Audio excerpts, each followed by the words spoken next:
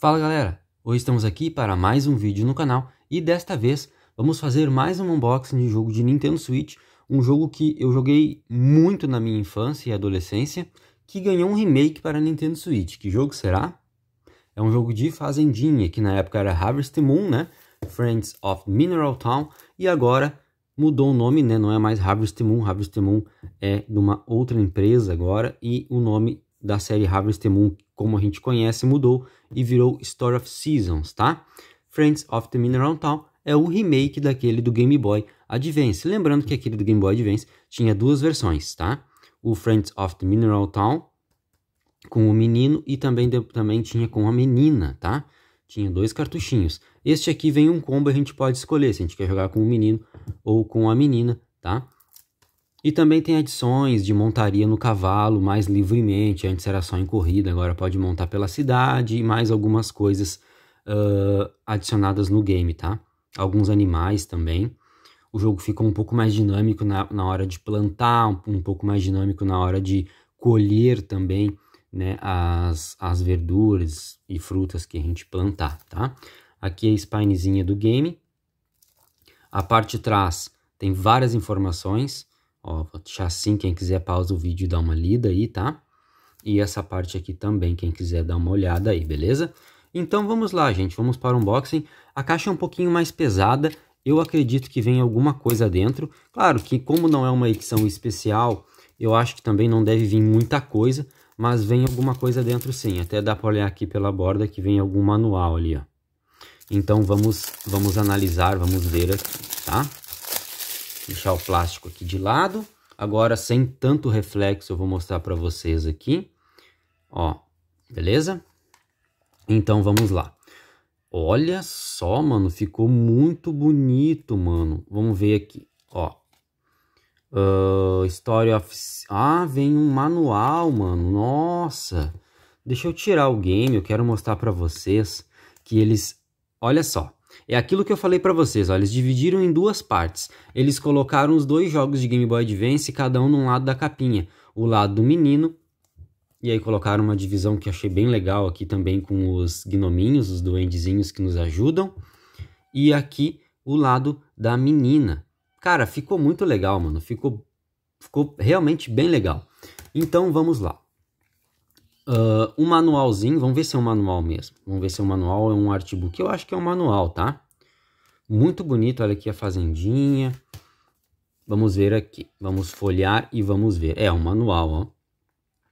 Aí assim, ó, como de costume, eu vou folheando e aí vocês vão pausando o vídeo, tá? Esse aqui é os personagens. Se vocês quiserem ler, pausem o vídeo, tá? Ó, aqui são aqui as mulheres, né? As meninas, aqui são os homens. Vamos ver aqui. Uh, aqui, ó. Mais conteúdo do jogo. Aqui é os botões, a parte de controlar ali. Uh, aqui para a parte de plantação, conversa, como lidar com o rancho. O mapa, que é muito importante. O mapa melhorou um pouco também a visualização do mapa em relação aos games do GBA. Vou aproximar aqui. O menu, Vamos lá para o vídeo não ficar tão longo também, porque unboxing é bom não ser muito longo, né? Aqui também os movimentos personagens, como segurar item, conversar com as pessoas, examinar, né, dar presente, essas coisas, usando ferramentas.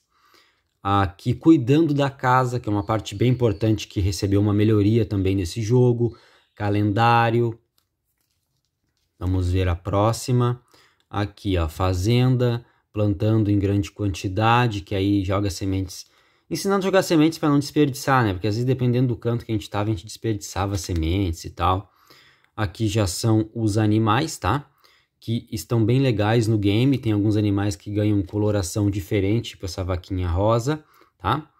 Tem também aqui a galinha com um tipo de roupinha, no caso, não é uma roupinha, mas é uma como se fosse assim uma roupinha. Tem os cavalinhos ali, Cara, esse jogo é muito divertido. Eu joguei muito no GBA, já vi vídeos dele na internet de pessoas jogando, tá? Eu ainda não joguei a versão do Switch, né? Porque a minha chegou e eu estou fazendo vídeo. Não tenho a versão digital. Tô bem ansioso. As notas desse game são boas, tá? Então eu acredito que melhoraram realmente as versões do Game Boy Advance, tá? Eu acredito que melhoraram e para quem jogou os Game Boy Advance eu tenho certeza que vão gostar. Olha só, mano.